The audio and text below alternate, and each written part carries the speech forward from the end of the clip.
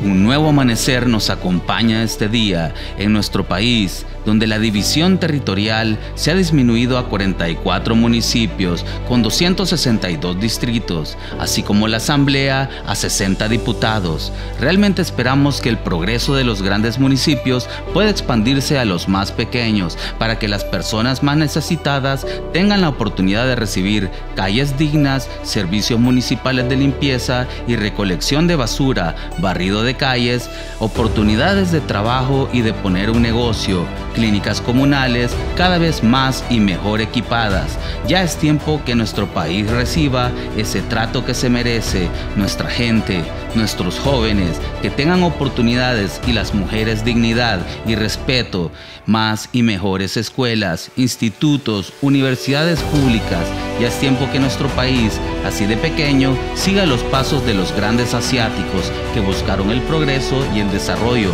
tanto en la industria como en la tecnología, la ciencia, el estudio del cosmos, nuestro ecosistema, el cambio climático, bueno, en fin, tantas cosas que soñamos para nuestro querido y hermoso El Salvador.